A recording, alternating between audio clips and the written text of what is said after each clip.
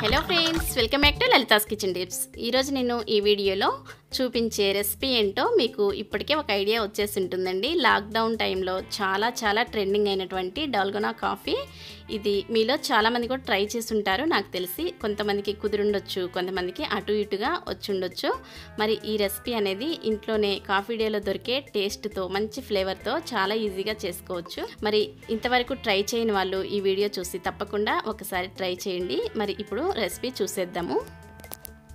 దీనికోసం మనం ముందుగా ఇలా మిక్సింగ్ బౌల్ ఒకటి తీసుకొని దీంట్లోకి కాఫీ పౌడర్ తీసుకోవాలి. నేను ఇక్కడ టూ స్పూన్స్ వరకు కాఫీ పౌడర్ తీసుకుంటున్నా అండి. ఇది నేను ఒక గ్లాస్ మాత్రమే చేస్తున్నాను. దానికోసం అనేసి టూ స్పూన్స్ తీసుకోవాలి.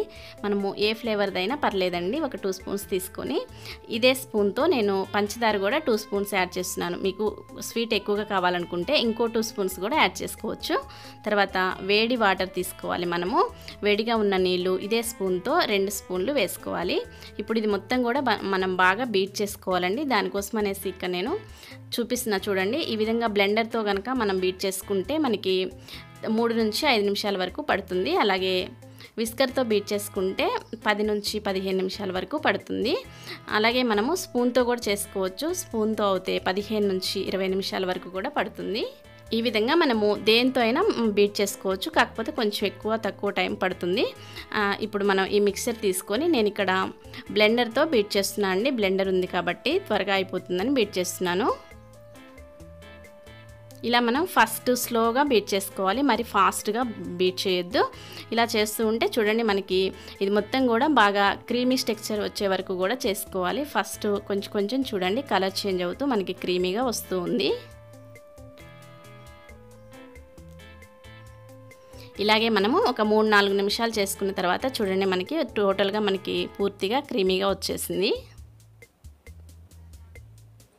ఇలా వస్తే సరిపోతుందండి. మరి ఇంకొంచెం సేపు తిప్పితే గట్టిగా అవుతుంది. అలా అవుతే మనకి కాఫీ తాగేటప్పుడు ఇబ్బందిగా ఉంటుంది కాబట్టి ఇలా వస్తే మనకి కాఫీ మిల్క్లో త్వరగా కలిసిపోతుంది.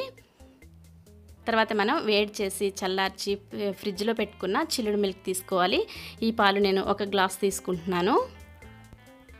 ఇలా మనకి కాఫీ పౌడర్ మిక్చరు అలాగే చల్లటి పాలు ముందు రెడీ చేసి పెట్టుకొని ఆ తర్వాత మనము కాఫీ ప్రిపరేషన్ కోసం ఈ విధంగా గాజు గ్లాస్ ఒకటి తీసుకోవాలి. తర్వాత మనము కాఫీ పొడి డామినేటింగ్ లేకుండా ఉండటం కోసం ఒక స్పూన్ పంచదార అలాగే చల్లగా ఉండటం కోసం మనకి రెండు మూడు ఐస్ క్యూబ్స్ దీంట్లో గ్లాస్లోకి ఫస్ట్ వేసుకోవాలి. తర్వాత మనం చల్లటి పాలని దీంట్లోకి పోసేసుకోవాలి. ఈ పాలు మనకి మూడు వంతులు పాలు ఒక వంతు ఈ క్రీమ్ ఉండేలాగా చూసుకోవాలండి. మనం తయారు చేసి పెట్టుకున్న ఈ క్రీమ్ని పాలపైన ఈ విధంగా నెమ్మదిగా వేసేసుకోవాలి. మనకి ఇలా ఇప్పుడు మనకి డాల్గనా కాఫీ అనేది రెడీ అయిపోయింది. ఇప్పుడు దీనిపైన మనకి డెకరేషన్ కోసము నేను చాక్లెట్ పౌడర్ వేస్తున్నా అండి. మీరు ఏదైనా వేసుకోవచ్చు. చూడండి మనకి కాఫీ డేలో చక్కగా చల్లటి కాఫీ లాగానే మనకి ఇంట్లోనే ఈజీగా రెడీ చేసుకున్నాం కదా. ఈ విధంగానే దీన్ని తాగేయచ్చు. లేదా మీరు స్పూన్తో కలుపుకొనైనా తాగొచ్చండి. కానీ ఈ విధంగా తాగితేనే మంచి ఫ్లేవర్ అనేది కొంచెం కొంచెంగా తెలుస్తూ చాలా టేస్టీగా ఉంటుంది. మీరు ఇంతగా వైరల్ అయిన ఈ కాఫీని తప్పకుండా ట్రై చేయండి. మరి ఈ వీడియో నచ్చితే మీకు లైక్ చేసి అలాగే షేర్ చేయండి. Thank for watching my videos have a nice day bye